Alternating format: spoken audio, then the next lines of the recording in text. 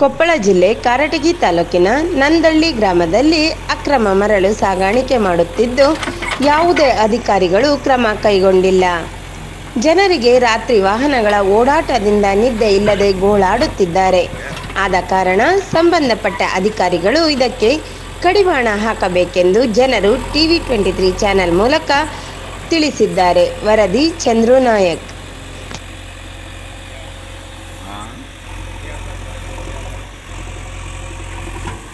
हल्का on lock आ गया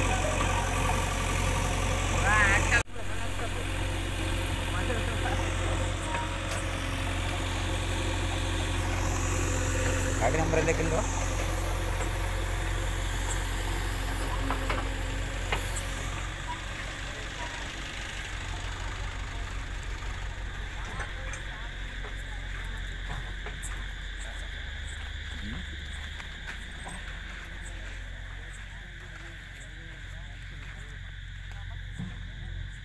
Air World Command.